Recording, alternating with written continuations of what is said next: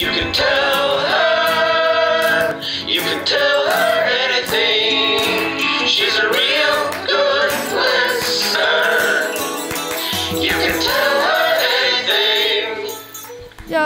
confidants? It's your girl, Father Longlegs. This is Teresa Lee. You're listening to You Can Tell Me Anything. This is the podcast where, well, in the past, comedians would confess something they want to get off their chest. But you guys know this is the quarantine edition.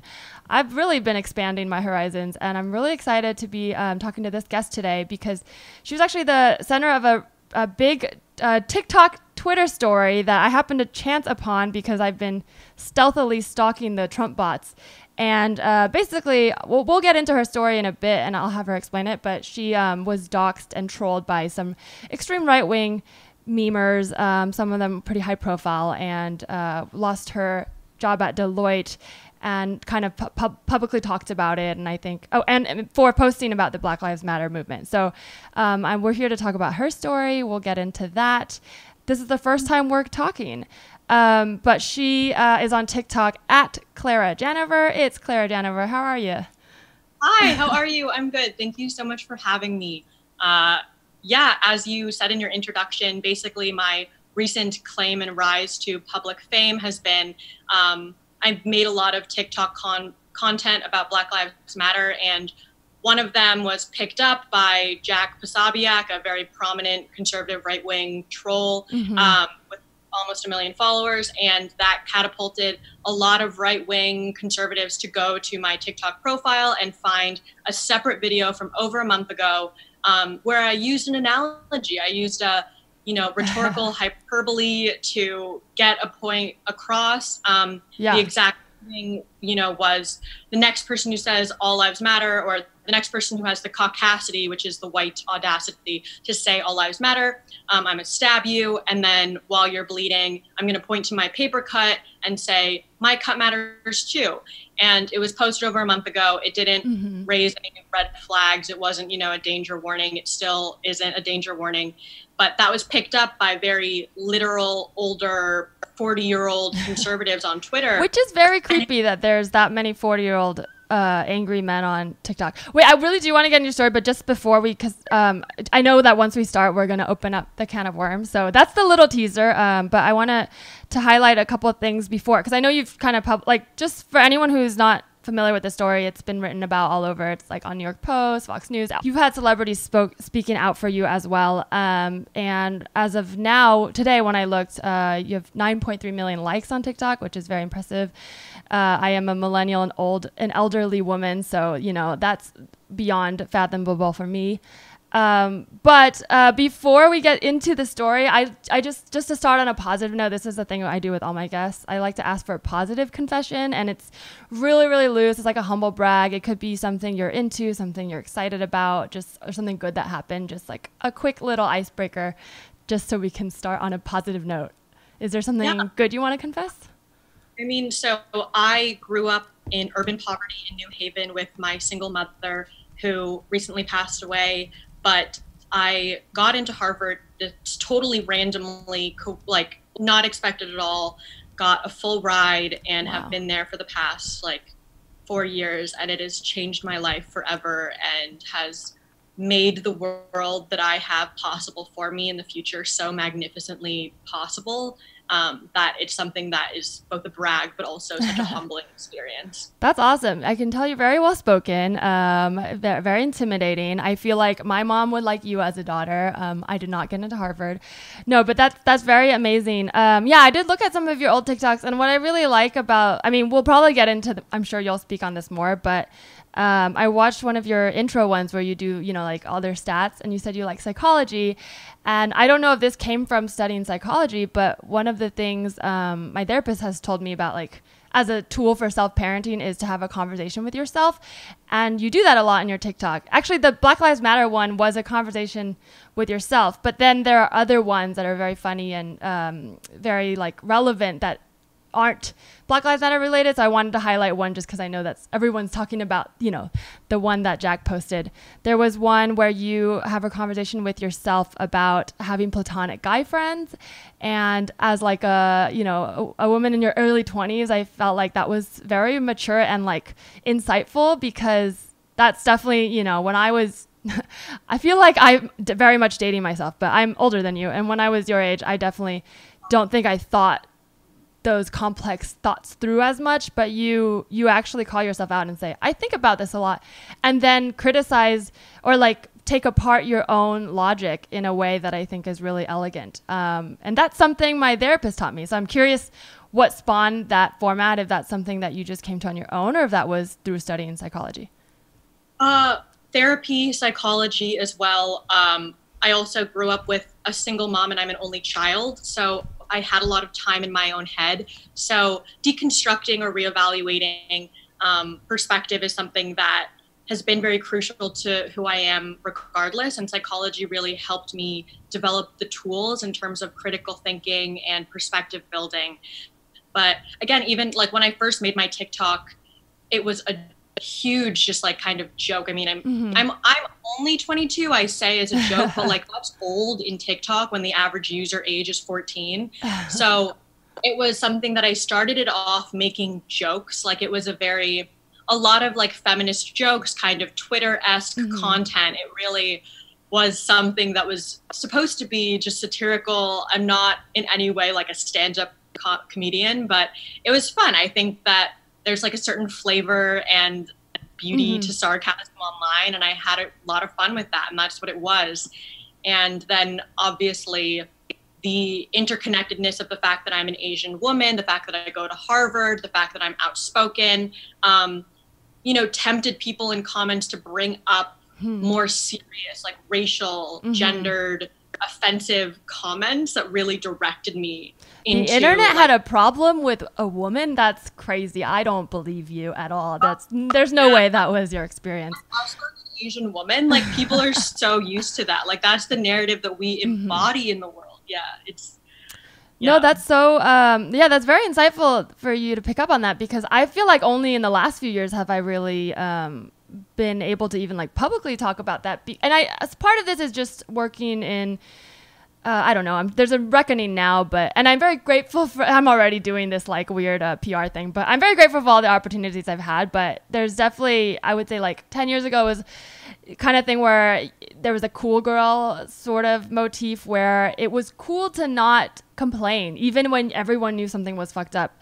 And I think that applied to being an Asian woman online too because it was almost like fun to just make fun of like over sexualized Asian girls to be like, I get why you guys don't like them. I'm not like that. Instead of going, wait, why do we do that? That's kind of a fucked up thing. You know, we're making fun of women who get sex sex trafficked as like a punchline in like movies, and it's like, huh, that might be kind of weird. something that like I've realized, but it wasn't really until this all came together in the past two weeks, really, that I was like, holy, I don't know if I can swear, holy yeah, you can dawn. like, I fully didn't realize how the power structures of like patriarchy, white supremacy, heteronormativity, nationalism, what they do is they set social norms of mm-hmm. acceptability, mm-hmm. right? So, like, they create premises of likability, which for so long has been the easygoing, chill, quiet, shrunken girl, but mm-hmm. we don't realize that. Like we don't realize that we embody that when we say like oh like i'm gonna like eat a hot dog when i'm around my guy friends because like i don't care about diet culture. Or you know like she's like a little crazy. Like that mm-hmm. girl's crazy but i'm not like her you know and that takes time to unlearn because these systems of power what they do is they modify the norms. And so anyone who speaks out against that or anyone who dares defy that, whether it be intentionally or not, mm-hmm. their very existence threatens that supremacy and that power structure. So when you have, you know, outspoken, demanding Asian women who are simultaneously hypersexualized and desexualized in all mm-hmm. of media and society, like we're someone that should be submissive, but we're also but non-threatening who, at the same time. Yeah know, but we're also like never going to be beautiful enough for a man to want to marry, but mm we're always going to be like sexy enough for them to want to have sex with. You know, and it's like all of these double standards and like incongruencies that we never acknowledge because we try to fit into like white culture and mm male culture. That is one of those things that like I haven't really had the time to deconstruct until recently when I'm like, holy crap, all these people that are you know doxers or intimidators mm-hmm. what they do is they like tell girls to shut up. They say i'm going to kill you. They say i'm going to mm-hmm. rape you. They say what the heck are you doing in the spotlight? And it feeds into this broader concept of white supremacy and masculine supremacy or patriarchy maintaining itself by shutting up anyone who speaks out through these like very normal structures of like well she's crazy. She's mm-hmm. dangerous. She's hysterical she's you know just all of these things that we see and we're like, oh yeah, that makes sense. Like a crying woman is like emotionally irrational.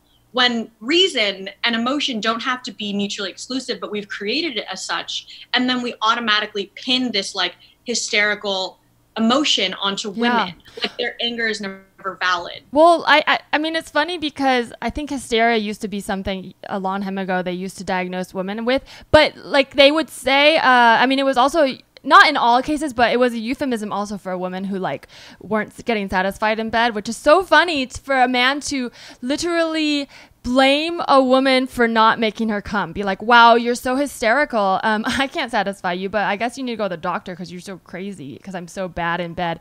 That's literally, I mean, oh, I sorry, mean, you cut off there.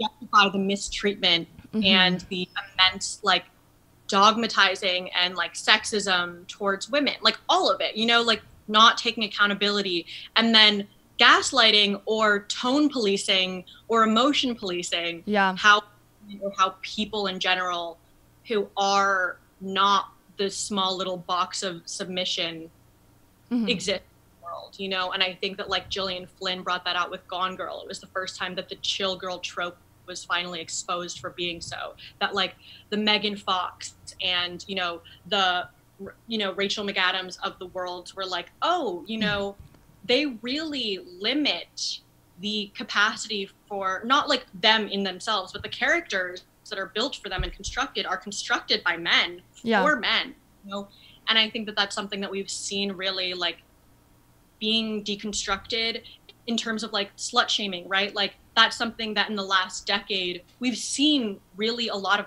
pushback against it because it's like you're shaming women in an attempt to minimize them. to control and them yeah well um uh i like that you brought up gone girl because it's fun like even that move even the book was then made into a movie and then fincher directed and he's such a like i mean he's a great director but he's an example of like that sort of like hyper masculinity yeah, I feel like you're so eloquent for, and you put it all in this way that like I've only just realized in the last few years. Um, I just want to sort of wrap up this intro by pointing out. So the the TikTok I mentioned, where you have a conversation with yourself about platonic guy friends, you do this. You illustrate the critical thinking. You say, because um, they're both played by you, and you say, so every guy uh, that's sexually attracted to you is entitled to have sex with you, and then the other you is like, well, no, it's okay to wonder if someone's attracted to you, but it's another to be worried that they're going to make a move on you. And I like how you say that because it's it's not about like, you know, writing a think piece or medium essay, which we can still do, but sometimes it's just about having a normal casual conversation, not trying to like own the libs or, you know, you know, prove someone wrong. It's literally just trying to understand why you believe something and then get to the truth because that is true. It's when you say you can be friends with guys, or it's true for some people. And I would say I relate to that. It might not be true for everyone, but it's not the argument that you can be friends with guys isn't that they all don't want to have sex with you. It's just that that's a factor in every relationship possibly, but if you respect someone, you shouldn't have to worry that one day they're gonna get you drunk and then have sex with. You. Like it's it's two separate conversations, and you yeah you kind of illustrate exactly. that really well.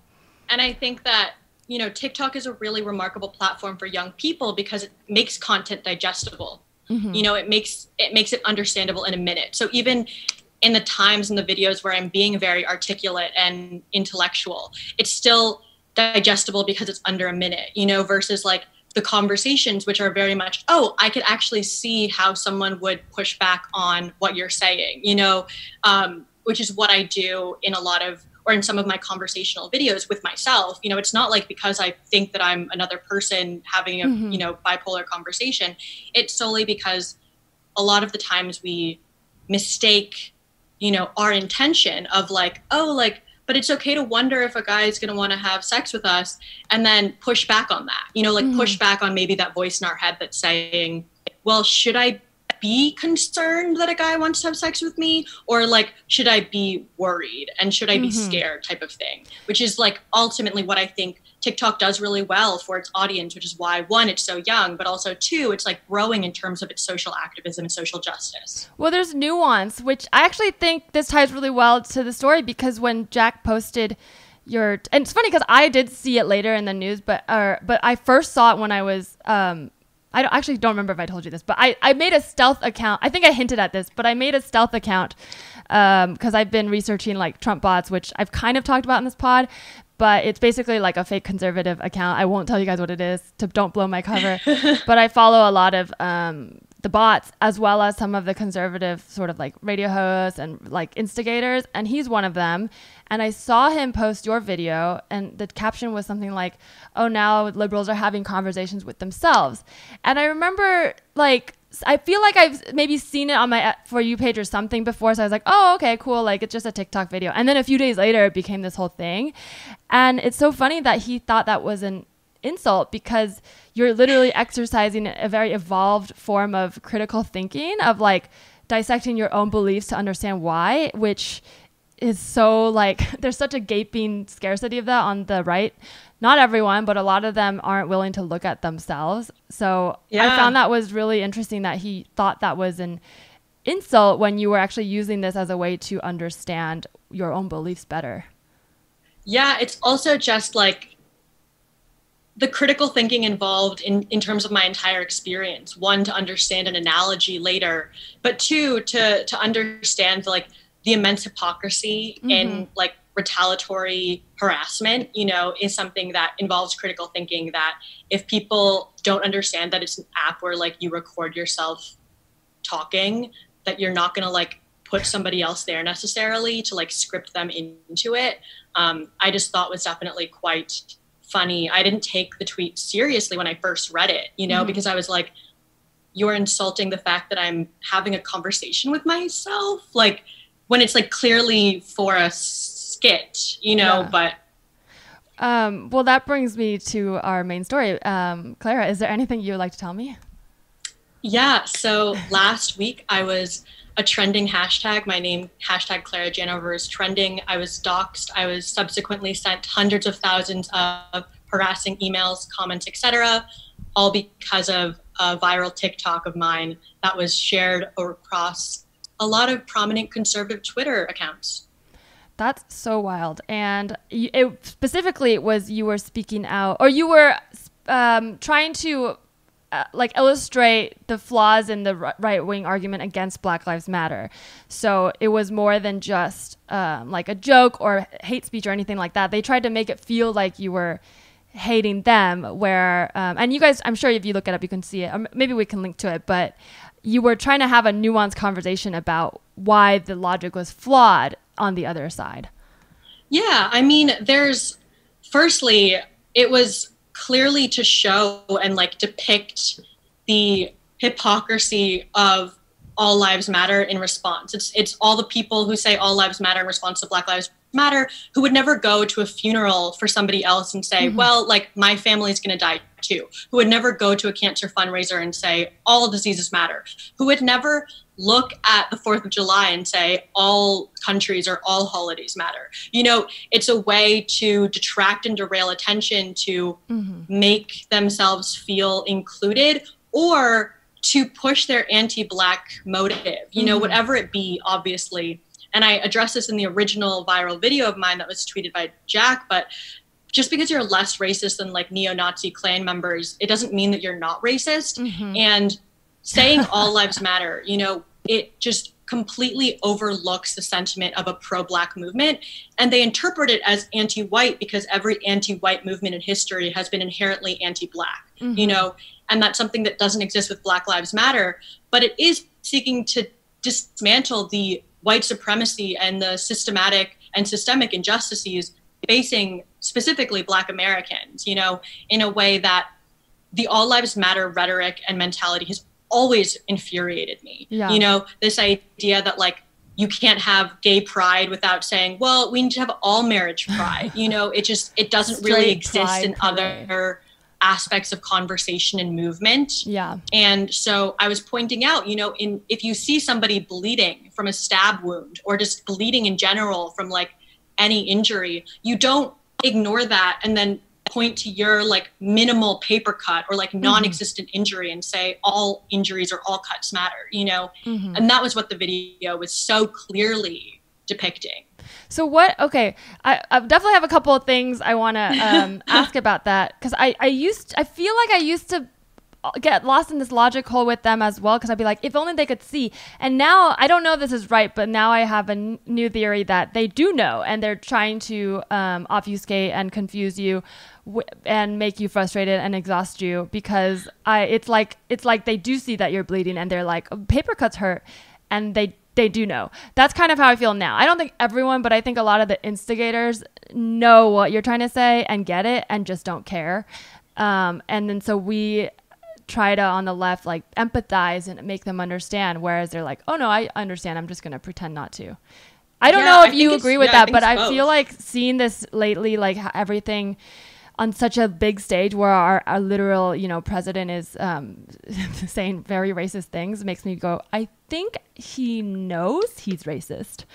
but I don't know. we I want to mean, we want to hope. I mean, I think the reality is is, and I I wrote about this. I published an article, but you know, in a lot of ways, I think a lot of people sort of reluctantly or like begrudgingly understand that it wasn't serious. That I'm not like a threat to society. That I'm not you know someone who's going to actually be a violent terrorist in the world. But I think whether they inherently or like subconsciously or very intentionally realize it, you know, like I will always be this like convenient four-way intersection, right? Mm. So like their disposition and like distaste to see the Black Lives Matter movement as inherently violent and extremist. You know, their desire to seek revenge for cancel culture because they're mad that all these white boys Mm. have been canceled or like, you know, whatever. And then their distaste for liberal elites because I go to Harvard and they hate that I've been, you know, Mhm. indoctrinated into liberal elitism. And then their their simultaneous hatred and hypersexualization of women and Asians, which Mhm. was clear with the feedback and the harassment and the comments that I got weren't just like you're a danger to society or like all lives matter or you, you know, you shouldn't have said this, like that was irresponsible. It also was like I'm going to come into your house and rape you. Or like Uh-huh. Ching Chong shut the fuck up and go back to your coronavirus infused country. Or like just like these things that intertwined my identities that were like tokenizing and vilifying all of them you know? But at the same time i was like undeserving of every single one of them. Like i didn't deserve to get into harvard. I like didn't deserve to be like the ideal chinese figure because i was outspoken all these things that were like Mhm. so complex societally or like in society's depiction of me like a young chinese harvard educated outspoken liberal individual like who uses activism Yeah. to her platform you didn't so it's like- serve their narrative. and it's sort of one of those things where like again what happened to me wasn't necessarily just in relation to my original TikTok. Like that for a lot of people, right? For Mhm. thousands of people, it's like, oh my God, she's a danger. You threaten to stab people. Like, what the heck? You're dangerous. You're a crazy lunatic. And there were a lot of people who were like, okay, like, even if it is an analogy, like this girl is stupid and this girl like needs to be condemned from society and removed. Like, Right? How can you be reason- both stupid and also a danger? Like, how can you be a criminal mastermind trying to, you know, kill all lives matter movement and also a dumb bitch? I mean, you're not, but I'm just saying, like, using their Yeah. like that that doesn't even make sense. So then you're a dumb bitch who Yeah. didn't deserve to get in Harvard, but also you've got all these skills to trick everyone. Exactly. Like, what? so I was simultaneously like completely discredited. I mean, I can talk Mhm. about this later, but I was completely like No, talk about it. Yeah. So what, what what exactly happened? Because I, you say you got docs. I know that generally means, um, you know, people show your identity and where you live and all that. How did you? Um, I guess t- take me through from your point of view how you found out about this and like w- sort of the ramp up. I imagine it happened quickly, but how did you figure yeah, out, figure it the out? majority happened within three days. So like from June 30th to July 2nd or 3rd was like when all of this sort of went down. And I didn't know what doxing was, but I kept on getting these like very concerned and like helpful messages being like, here's tips for what to do when you're being doxxed. Oh my gosh. And that seemed to be like so many people's tips to me were like they were worried that I was doxxed. And for me, that was like, well, I don't have a legal permanent residential address. I don't have any living parents. I'm on my own. And like there's very little information about me on the internet because again, like I'm not a very prominent person internet wise. So for me, that wasn't like it was stupid, I think is the easiest way for me to interpret it. Like the first day when this was happening, I was just like, these people are just actually insane. And then it got it got to a point the disheartening and quite like terrifying part was when the media became involved in like news landscape because it's completely uncontrolled and unregulated and mm. out of your control and so the next day the next three days and it was predominantly by like the new york post daily mail etc fox news they were completely like within their power to publish these completely slanderous and like un like untrue information about me containing like disinformation to the max. Like publishing whatever they wanted to do posting pictures of me crying and like mm-hmm. me like with like photoshopped pictures of like knives in my hand. And it just spread at such a magnificently uncontrollable rate that I just it was so far beyond me. Like yeah. I was so far removed from like myself that I was just Harvard student, Harvard grad, Harvard educated Deloitte employee, crying huh. TikTok Harvard undergrad, you know, Asian girl. Like That's so interesting that those are the terms they I mean it is all to serve their again to be, to serve their narrative because right now there's a big uh, push you know, led by Betsy DeVos and the whole, you know, like the uh, conservative side against liberal education because they think it's changing us brain. I don't think yeah. they really believe this, but that's what they're um, peddling. And so it's convenient to s- talk about how you went to Harvard. But in another situation, I mean, like, uh, okay, with like Brock Turner, and that's something because I'm from the Bay Area and the woman was yeah. Asian and she's come out, talked about it since. When the story first came out, my parents, um, they didn't know who she was, but like we have a feeling that she based on the way like it kind of they just had a hunch. They're like we think she's an asian girl. And then and she was and they made it all about how he was a st- like prominent stanford athlete. So it's like so convenient when it's like in that case they were trying to use that as a uh, reason for his potential. And in this case they're trying to show yeah. like how far harvard's fallen from like its old you know yeah. all, all white all star american days and it's just so interesting how even within their own rhetoric they contradict themselves. Well, I mean, it was something where, so when these articles were published, like attempting to discredit me and like frame me as a compulsive liar, as like an undeserving bitch, you know, all these things, like they simultaneously sought to like make me undeserving and like incompetent in terms of like my capability to reach like Harvard student, etc. Mm-hmm. But then I also embodied Harvard student. And mm. it's something that like all of these things, like all of these contradictions go unnoticed right. because again, the goal isn't to like be consistent or like confront the unwillingness or uncomfortable idea that you're destroying, not like destroying, but you're harassing and terrifying a 22 year old girl yeah. with no history of you know the spotlight and you know they don't want to come to that realization so it was, it was all of one of these things where it's like people don't reflect like the same mm-hmm. people in my dms and messages saying like i'm gonna stab you or like come here so i can sodomize and gang rape you like those people Jesus. aren't reflecting if they can't realize the harm in those messages they're not gonna realize like oh, you know, like I'm being willfully ignorant by like simultaneously mm-hmm. discrediting this girl and making her accountable for everything she is identity yeah, you wow. know? That's a good way to put it. Yeah, they're literally saying the same thing to you that they're accusing you of. But I'm yeah. So how did you? So you got a message like from your friends first, and then you real. So were you getting? I guess before this went viral, you were already on TikTok. Um, how like were you already?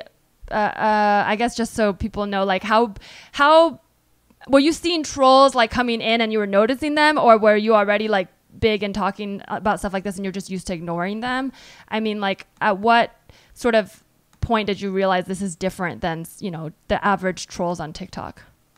So i like it's something where prior to this i had i mean i had i've only had tiktok a couple of months. I started it in like late march or april or something like that. Mm-hmm. and until really mid to late May, I think I only had like 20,000 followers. So it wasn't really like a gravity that was overwhelming. I also still don't and like haven't taken it to heart when they're like really racist and like Mhm. hateful people.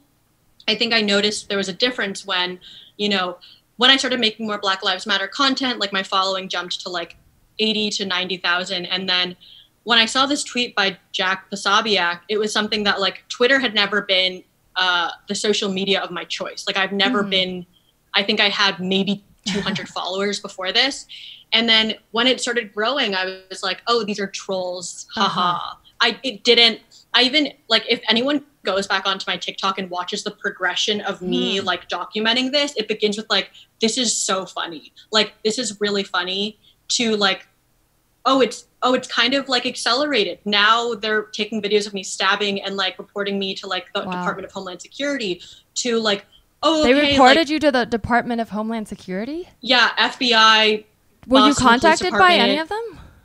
no no i mean obviously not like no one like my friend's dad who works in the fbi like called me and he was like don't worry like this Oh is so far not of the interest of the fbi like no one cares about this They're even disproving their own. I mean, like not to open, like we really don't have to go down this path, but this the, the defund police. Um, because I've gotten trolls on TikTok and Twitter for talking about it, Yeah. and I usually do it through a joke lens where I'm like, "Hey, actually, go read up on it. Here's my joke take on it. That's still real." But when people go like, "Oh, who are you gonna call?" It? So it's like those are the people who say, "Who are you gonna call?" And then they call and they don't do anything. So it's like either you just did it to troll, which they probably did, or or the fake version, which they which they're saying is true, is them um, really feeling scared, which I don't believe, and so they needed a call. And in that reality, the police also did nothing. So it's like either way, you are like in two realities that don't work out for you. Like they neither Yeah. of those make you look good because if you're arguing that the police are there to keep you safe and they did nothing, well, and you felt unsafe, then I feel like you just disproved your own argument. But if you really Yeah. just did this to troll, then you just showed why the system favors you. And yeah. Did you know Jack uh how do you say his name? I really Yeah, I think it's Pos- I think it's Posobiec. Posobiec. That's how. But I pronounced it in my videos Jack Posobiec. I don't know how it's pronounced. Did you I know also him or were you aware of him care. at all?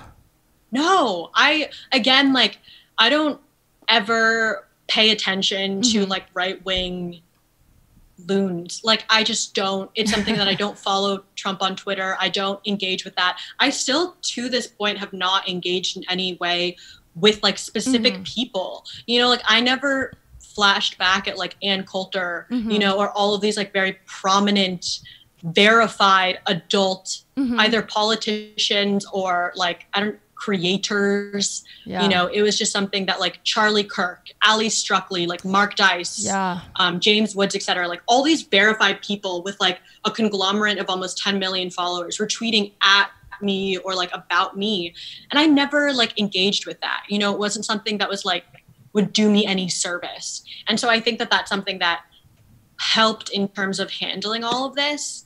I think going back to like my the progression videos on my TikTok, um, it was like it just got progressively more serious, and then I realized it was something that was like beyond experience by like an hour after Jack's tweet because Mm. that's when the stabbing video of mine like this it it happened because this one guy I don't know his name um, but he quite literally responded to every single tweet that I was mentioned in Wow. in either support or criticism with like this girl is a dangerous like threat to society um, and because of it it just again like spread because he was doing that at on like very famous people's Hmm. tweets and then it just gained momentum and like it was that one person um, again who really bolstered this but it wasn't like just this one person Yeah, it's well. There's Um, kind of this. Um, so it, I don't know how much you know about these bots, and I'm I'm probably not even um, as well versed as I should be. But there's like, Charlie Kirk is one of these guys who actually hosts um, like seminars teaching young right wing like extremists how to meme. Like they literally will host these seminars and teach them how to like own the libs. Like that's a thing. So they actually spend they, like Turning Point USA, I think is the name of one of his groups, spent like eight million dollars last year on workshops like this. So Yeah. and that's been documented in the news and obviously everything in the news grain of salt, but the fact is that it's what you're noticing is not is the v- very direct result of that, but it's not a coincidence. Like people doing it so fast, knowing exactly how to, you know, go back in your, you know, um, old history, find exactly the video that's going to get the most emotional response, edit it really quickly, and everyone's like ready to go. That has been trained, and I'm sure they've tried to do that with multiple people, maybe to different degrees of success, and yours really took off. But Yeah. I, I don't think you're, I think you're onto something when you say like the, the speed and just like rigor and just like how nasty it was. It's not just people being upset at you. It's people like yeah. offensively It's- I was targeting a scapegoat you. in a lot Yes. of ways for the hatred of all these things that people may not have even realized, but were Mm-hmm. so very obvious. I mean, online harassment is so easy and unfathomably public because users can act anonymously. You have these bots. There are millions of people watching on a regular basis. The speed at which you can do it is unprecedented, but also the network effects of social media dissociate public figures or like mm-hmm. accounts from their true character. You know, like the number of people who actually would have had this like anger and dis or like hatred towards me still probably big, but like not as prominent and not as fast, not as expedited. So it allows, you know, cruelty to be amplified and spread at an unprecedented scale. And what, what it does is it like all of the all of the comments and all of the messages just really, really embody this whole like white Mhm. supremacy maintains itself by instigating fear Mhm. in the hearts of people who question both its violent authority yeah. and you know how it operates but then it does so at a rate that is so out of control of the victim Mhm. that you the victim is either forced to ignore it or, Mm. continue to chase an unachievable Mhm. standard of either perfection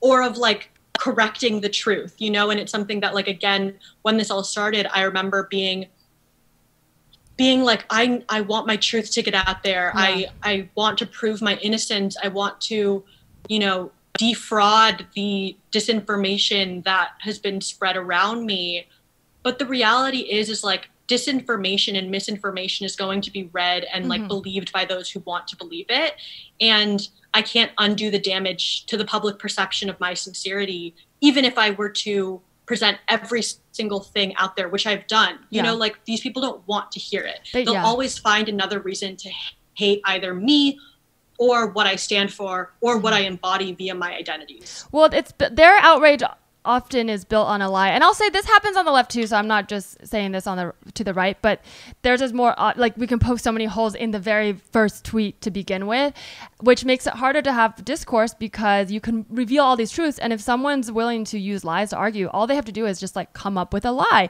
So Yeah. it totally negates the whole idea of discourse. I mean, yeah, for an even dumber metaphor, I guess it'd be like if I was like, you know, I don't know, if I was trying to help my friend move or something and I was just trying to ask them like, "Hey, where should we put this lamp?" And then she kept saying and I was holding a lamp and then she was just like, "That's not a lamp, that's a couch."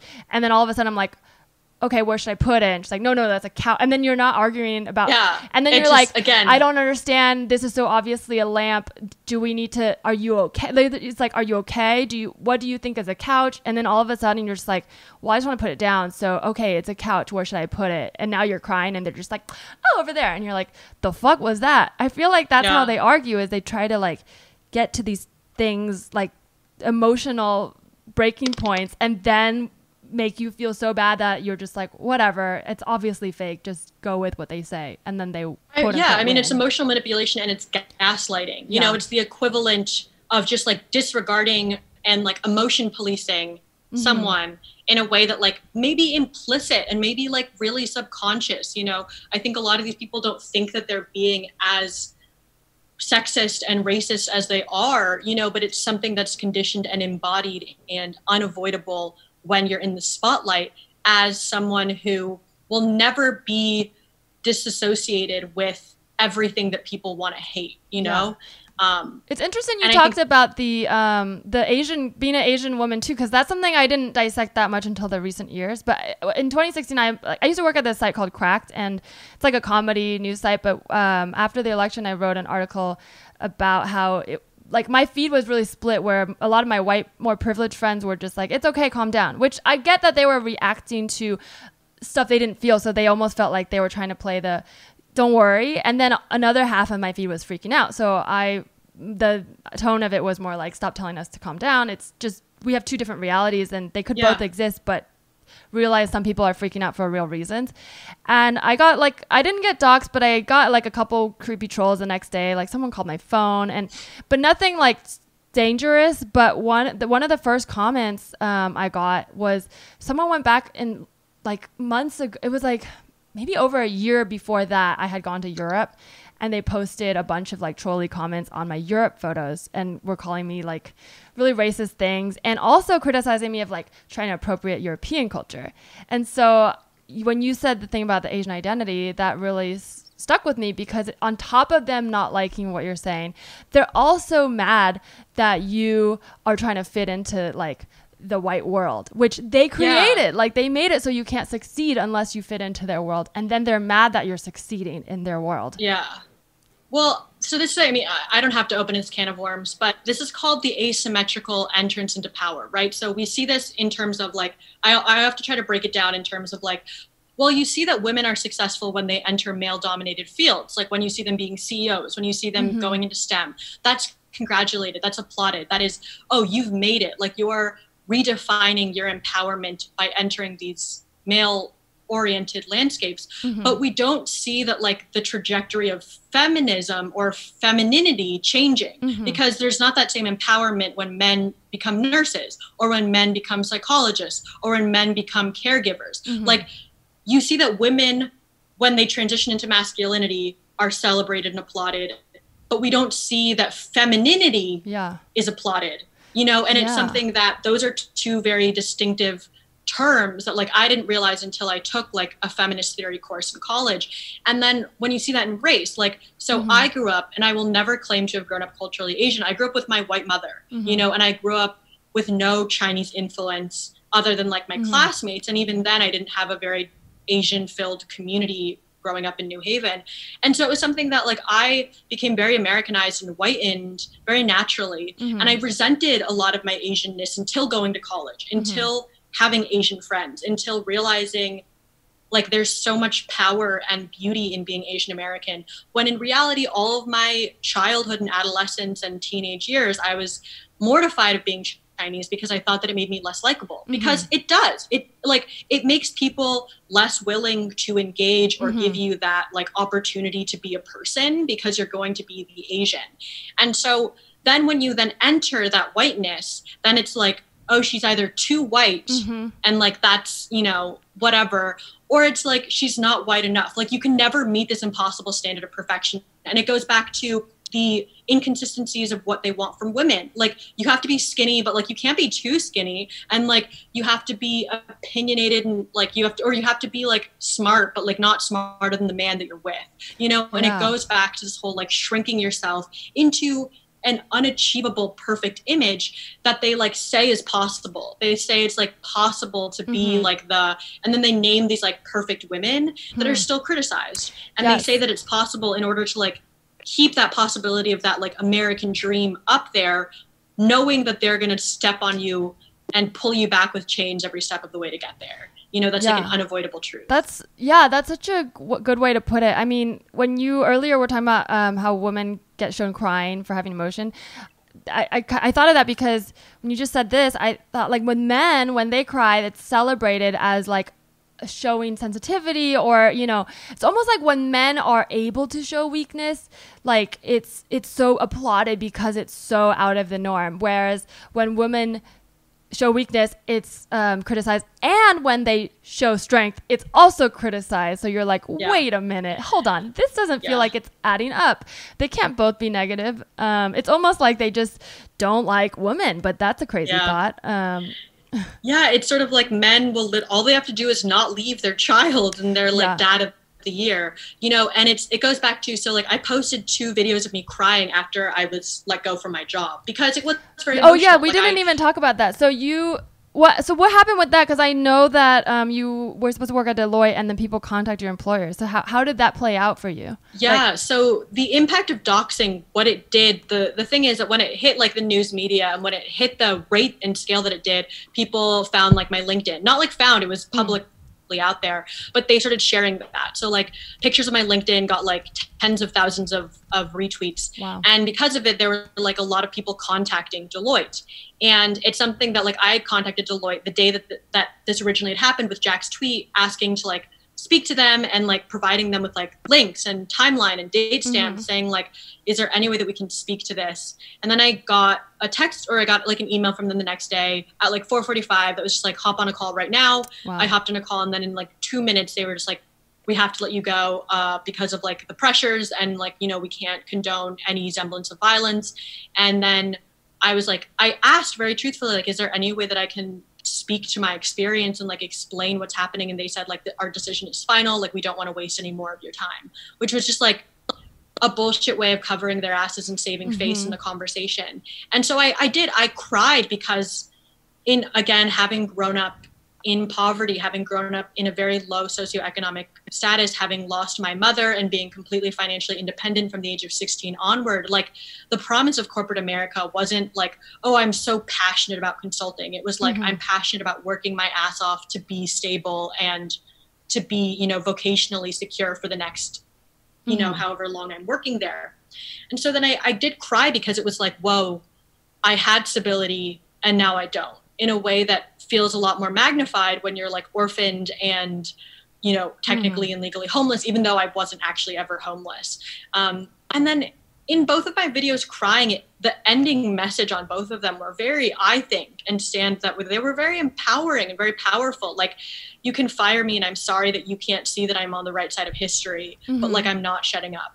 But again no matter how resilient the message that i said was like those who choose to see weakness fed by like the internalized sexist dogma centered about like white fragility and like masculinity it's like their physiological unwillingness or discomfort seeing a woman crying and labeling Uh-huh. her as like crazy and emotional and like uh, like irrational makes it so that there's this message that like you can't like as a woman you can't cry and fight at the same time which Mhm. isn't true the yeah, I feel like I fight really well. Like you, you want to avoid a woman with a knife while she's crying. I mean, like really? yeah like the exclusive definition of Probably not strength the best analogy doesn't I'm exist solely via masculinity and emotional Mhm. repression even though that's what we like tell people but then when we're angry Mm. then like we also aren't like, like we can't be angry and fight at the same time there's no emotion Yeah. so the only the only way to appease supremacy is by shutting up you know?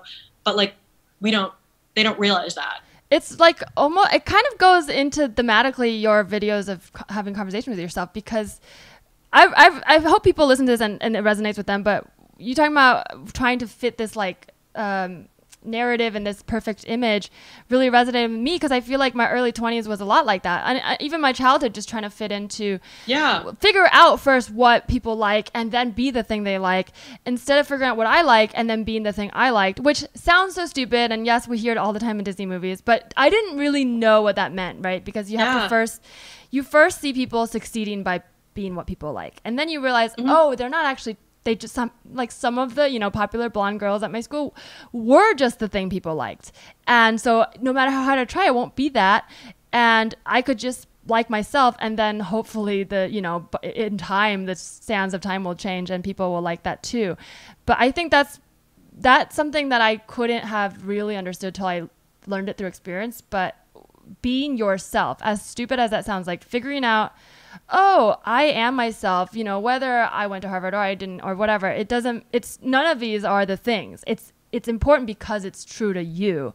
Like Yeah. it makes you you. And if that wasn't you then it wouldn't feel empowering to have achieved that milestone because it's not what you want you know Yeah, and I mean, I think this speaks so broadly to like the amount of commentary on like opinionated women's posts and like on messages and comments that I get are like, "You're never gonna find a boyfriend like this," or like, "People aren't gonna like you," which stems back to this likability, but so also that he can protect again, you like, why would you want it i know it's like what it's it is scary to think about Yeah. being undesirable Mm. but then you know and that's something that even i grapple with is like this idea of i mean i can't help but think the number of guys who are going to want to interact with me and again this is like not empowering whatsoever but like a vulnerable truth Mm. like the number of people who are going to want to be friends with me or guys who are going to w- want to be romantically invested in me lowers when Mm. you're not this likable ball of like blonde blue-eyed you know cuteness and sweetness you know and like, like that's simultaneously a good thing because then it it weeds out a lot of people that you don't want in your life but it Mhm. also at times can make you feel very lonely like you're fighting for a bigger picture but you're also doing that by like making yourself into an abstract of power Mm-hmm. that again is like tiring and i i can't not you know talk or like speak to the insecurity that's arisen from this that like obviously it's it's wonderful knowing the amount of support i'm going to and will always get but it's also this you know real truth that Mhm. again it intimidates people from speaking out like a lot of people not us but like a lot of people don't speak out because Right. they don't want to lose that essence of likability especially the ones that are already vulnerable to prejudice you know like women of color Mhm. etc like don't want to push the envelope like because their their existence pushes the envelope. Their Yeah, existence exactly. makes guys not want to approach them. Like approachability and likability is a terrifying thing to like not think about having which is awful to say but it's a reality. And i understand how that's something that like i read these messages of like no guy's ever going to want to be with an angry opinionated pol- politician. And it's like that's something that you know takes a lot of unlearning Mm. a critically flawed society but Well- it's still very much true. Like there's truth to that statement. It's just a horrible reality that we live in. It's, it's how they see your value, and it, it does still hurt. I think you're speaking to a very important part that gets lost in the discussion on the left about cancel culture is like, it's okay to also acknowledge that this is hard and there's pain involved. It like you have to acknowledge the good and the bad, but it doesn't mean it's wrong, right? Like yeah I think about I used to argue with women who um, were like, I just want to be a housewife. I don't want to work, and it's not. And I used to be like, well, you're not liberated. But now I feel like these like conversations I have with myself help because I'm like, you know what? That's them, and this is me. They don't want what I want, and maybe they do feel like th- maybe I was for a while feeling challenged by them because I wasn't even sure if you know maybe I that does sound nice, and I I didn't want to be you know threatened by their image of perfection. Now I feel like if someone comes at me with that, it's a it's a little easier for me to be like, okay, I see that you're angry and you probably haven't dealt with your trauma, and that's okay. Like my existence isn't gonna erase yours, and I'm also not mad that they want those things anymore. I'm like, if you want to be a housewife and that's you, you should do that. Like I don't think yeah that that challenges um, i know that might be radical to say but i don't think that sets us backwards i think what sets us forward is realizing everyone's a person and not um Yeah, and it's not, like, like, understanding thing, you know? that women are people Yeah. and not like an an abstract concept. that we don't all right? want so, the same thing you know like and it's also like feminism aims to give opportunity and choice to women. Like if you, that's why it's like pro-choice. Like if you, okay, that's another debate. We don't have to get right into. right but when in people say like oh so now i don't want to go to work if Yeah, we have like, to make women work like- it's like well what if we I- don't want to yeah, a lot of people criticize like Disney princesses because it's like, oh, like we don't need dainty princesses anymore. It's like, no, like we just need for there to be women existing beyond the Yeah, dainty princess. both, but it's yeah. not to criticize those who do enjoy playing with Barbies and doing Mm-hmm. their makeup, right? Like, I think that feminism never gives you answers as to what is like the appropriate feminine behavior. It's just trying to remove what is Yeah. seen as appropriate for femininity, right? And like that's why I think feminism is such an important word and concept because it extends more than just beyond like what women can do. right It's sort of like what femininity can encompass without judgment. It's like what uh. well that even that criticism of like you're never gonna find a man is implying that you get your value from someone else. Like they weren't tweeting at Jack like, oh, you're never gonna want to find a girlfriend or whatever because he can stand by himself. His value is not increased or decreased by who's standing next to him, and neither is yours. But that's the image they're trying to paint in your head, right? So then you feel like, oh no, I'm losing my value. But in reality, like, shouldn't they be saying like? Hey, you wouldn't want to date a guy who doesn't want to date an outspoken woman, right? So it sounds like Yeah. you now know who you don't want to date. Like it's like they don't ask you what you want. It's always, oh, nobody wants to date you. It is tough to hear that because it's not, it's hurtful, but it's not actually the truth. But it is hurtful to hear that kind of thing, I think. So, Yeah, and they know that. I think they're trying to hurt. Um, yeah, I feel like you have such a strong grasp on um, like just like m- emotional maturity. I feel like it's very impressive. Thank you. Um, wait, so did you study psychology at Harvard, or what is it that you're interested in doing? I studied government and psychology um, separately, so Oh, like wow. not you know overlapping. And I think I think I do want to go potentially into social work. I I do acknowledge like the emotional maturity that I have for my age is definitely like beyond my years. But I don't know. like I I don't want to be a professional activist. I think that's something that like mm-hmm. kind of is worrisome.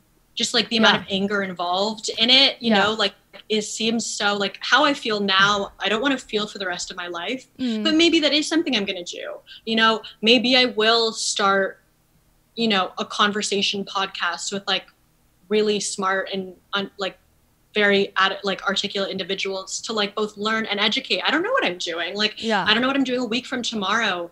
Um, I don't think you I need to go. I think you sh- the uh, point hopefully that you take from this is that you have something to say and that you're good at it and you can express Thank yourself. You. So I don't. I Thank think you are so right. Much. Getting hold into activism, like I, am grateful for people who do, you know do that, and it's a great you know nice selfless thing. But we also need people who have empathy and express themselves well in every field, including finance. I mean, in politics, especially, right? Like maybe we're not drawn to those fields because they're full of, you know, toxic behavior, but it would actually help to have more empathetic people there. So I, I think that you'll, uh, yeah, I feel like you'll find that calmness for sure. I mean, I'm only on my, just on my way to finding it. And I can tell that you're, you're very good at dissecting that sort of thing. So I think Thank that's you. a that's a good way to go. Yeah.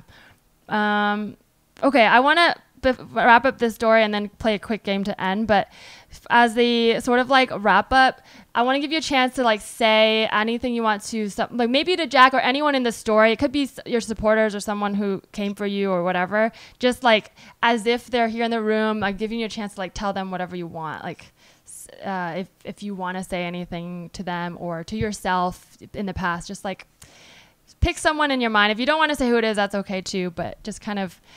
Yeah, I just I think to all of these people, there's there's such a scale of people who resent and like hate me online and i think that it is absurd to think that a legitimate death threat existed between the gray area of satire you know i think like the semantically and intellectually negligible differences are not something that I'm ever going to focus on. But I think there's absolutely nothing that I can really say to make people recognize my humanity um, when they actively refuse to. Mm-hmm. And so I, I really, again, never want to direct my the point of my message and my person to people who are never going to listen mm-hmm. because of all of their prejudice, you know? And so, just like the people who are threatening me or who publicly threatened to run over protesters with their car or to break into homes with defund the police, you know, like supporting a president that condones and encourages justifying the endless murders of Black Americans and lynching of Black leaders, etc. Like, you can they always will and like you always will justify your own violence and threat and harm and so it's not a matter of my opinion and i think people need to mm-hmm.